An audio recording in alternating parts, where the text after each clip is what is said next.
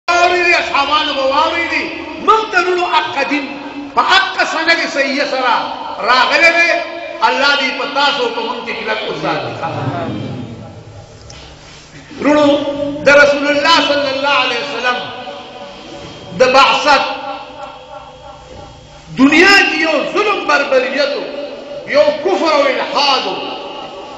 داسی ظلم بچانی لیدلی په دنیا کی اوس هم ډیر ظلمونه کیږي لیکن دا یاد ساتئ جو دنیا کی اوس هم ظلمونه دي خو هغه تیاره هغه ظلم هغه چا نه دی لیدلی ولی چې عرب داسې قوم چې هغه یې ژوندی لوڼه خپولې دوره دوره خاري به راوستي دوره به راوستي دوره به خپل ژوندې جوړه بالي دي خاطر کړی دي سان آی بلا یو حال کړو خخول به واذا الموءودة سئلت بأي ذنب قتلت نور چې شپږ شپږ شل کال جګړې کم خباستونه جواره یې شرابونه چې کوم نقصانونه وو، بربریت و، کفر و، شرک و، ظلم و، لیکن کله چې رسول الله صلی الله علیه وسلم دنیا ته تشریف راوړ ډېرې آتش کدې د څو زرو کالو هغه یخې شوې. یهودیانو سره غږ شه چې څه چل وشو، دا آتشکدې خو د اور نه چرې نه وي مړې شوې او دا اور یخ شه څه چل وشو؟ ګرځېدل ګرځېدل د خپلو کتابونو نه یې معلومه کړه چې هغه اخري پیغمبر دنیا ته مبعوث شوی دی د هغه د وجې نه زمونږ آتشکدې یخې شوې خانه رسول الله صلی الله علیه وسلم ورونو د رسول الله صلی الله علیه وسلم بچپن حالت کله چې پیدا شو دنیا ته تشریف راوړ آمینه مور بی بی وای چې ما د رسول الله صلی الله علیه وسلم پیدا کېده د هغې نه قبل ما خوب ولیده چې زما د دې بدن نه یو رڼا خوره شوه او په هغې باندې ما ته د قیصر او د کسرا بنګلې ښکاره شوې هرې غاړې ته رسول الله صلی الله علیه وسلم دنیا ته تشریف راوړ رونو او پلار یې د هغې نه مخکې وفات مور د مور صحبت شپږ میاشتې پاتې شوی و حلیمي سعدي واغست رسول الله صلی الله علیه وسلم د عربو د مکی دا قانونو چې هغه به باندو ته ماشومان لیګل دا غدای آب و هوا ډېره صفا يي د بانډو د کلي په نسبت د ښاريو په نسبت نو واړه به هلته لېږل نه هغه يي به شپږ مياشتې پس يو چکر لګو دي بانډچانو د بانډې خلک به راتلل ټول راغلل کورونه باندې وګرځېدل ماشومې ماشومان يې واغستل هغه به ولې څه پیسې ډېرې کافي ورکولې د هغه ماشوم له به پی ورکول تربیت به یې کول لویو به هېڅ څوک پاتې نه شو. حلیمه سعدیه وايي، زما مرکب سورلي، هغه ډېره ټپه وه، ډېره ضعیفه وه، راتلی نه شوه، زه وروسته راورسېدم، نو خلکو راته وویل چې ګر زما ماشوم په مکه کې بل نشته دی، یو ماشوم یتیم پاتې دی، ورشه که د بوزې بوی ده،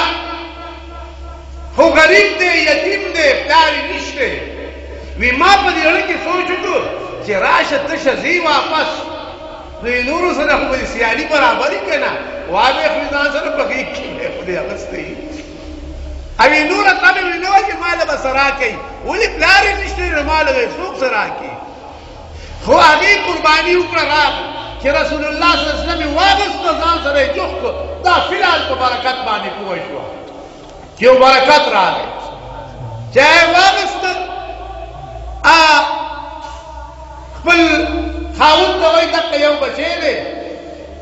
او دلته پاتې دی وی تب تراولا نو چې په مرکب باندې سوره شو او روانه شو هغه تپا لاغرا نبلو والا مرکب هغه د ټولو نه مخکې شو دا د ټولو نه مخکې شو ادا وایي چې په خپل ځان پوه شم چې زما دې بدن کې کوم برکت راغی رسول الله صلی الله علیه وسلم چی خپل باندی تا کور ته ورسو رونو ناغی خو کیمیا ومونتا کیمیا یې ومونتا نو ګړې وي د هغې بیزې وې ډېرې ټپې ټپې نو رسول الله صلی الله علیه وسلم به یې واغېستو د رسول پاک هغه لاس مبارک به یې په بیزه باندې کېښودو نو بعد چې څومره پی به یې ترې نه لشل لشل لشل هغه به خلاصېدل نه هغه یوه کیمیا ده وې دومره خوشاله شو او دومره آسوده حال شو د پای ورکر سم دغه پیلاو خو چې څومره به پای په کار و هغه بیا نه ګړی بس کول نه بیزی بس کول نه به وخی بس کول رونو هلته کې دومره لوی شو او بل د پای ورور ورته وایي حدیث شریف کې راځي کله رسول الله صلی الله علیه وسلم د رور هغه د بل رور حصہ د خپل رور هغه حصہ کې چرې هغه بل ته التفات نه وکړ هغه یو ته وي هغه رود د بل رور حق ته التفات نه کړي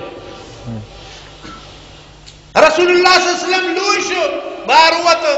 هغه رور سره خو دشتې وي بیابانونه او څه نو بیزې سرولې ګډې سرولې هغه رور سره هسې لاړ چې یو ساعت تېر شي هغه رور اراده وکړه کور ته راغی وی راشي زما رور چا ووژو رسول الله صلی الله علیه وسلم ملک راغی رسول الله صلی الله علیه وسلم یې ونیسو سینه یې وله کلا وکړه او سینه یې ولا د آب زمزم په اوبو باندې ووینځله، ملک راغلل سینه یې ولا صفا کړه د هر څه نه او دا علوم یې پکې واچول. هغه ورور راغی راشي هغه زما ورور یې ووژو، هغه یې سره غم شو چې قریش خو ضرور قوم دی موږ به څه جواب کوو، چې راغی رسول الله صلی الله علیه وسلم ناست و خو رنګ مبارک کې یې لږ فرق و. وی څه چلو وی زه خو نیم خبر خو دوه کسان راغلل زه یې ونیسلم زما سینه یې څیرې کړه او زما سینه یې صفا کړه علوم یې پکې واچول نور نیم خبر د رسول الله صلی الله علیه وسلم شق صدر څلور ځله شوی دی نور څلور ځله شقیق صدر د رسول الله دا په ابتدا کې وشو ولي تمام بنی ادمو ته بیا په دویم ځل باندې کیږي لونو چې کله ورته ابتدا د وحی راتلا په دویم ځل باندې هغه وشو په دریم ځل باندې رسول الله صلی الله علیه وسلم شق صدر وشو څلورم ځل چې اسمان ته دی معراج تدا ډیر ګران سفر دی او ډیر لوی طاقت غواړي بیا الله تعالی او د اسرار او د علوم نه به ډک یو بنده تمامي دنیا ته راځي پیریانو ته راځي بنی ادمو ته راځي حتی حیواناتو ته راځي او ما ملکت ایمانکم زناورو ته حدیث شریف کې راځي ډیر وخان برال رسول الله صلی الله علیه وسلم ته شکایت وکړ شکایت به یې وکړ، هغه اوښ به رسول پاک واخیسته، یا به یې مالک ته وي، دی ماته شکایت کوي چې بار راباندې ډېر وړي، خوراک راله کم راکوي. وروڼو د رسول الله صلی الله علیه وسلم عظمت او شان د حدیث نه معلومېږي. یو رسول الله صلی الله علیه وسلم یو میرا کې پروتو دشت کې ها بل ور سره ونی وی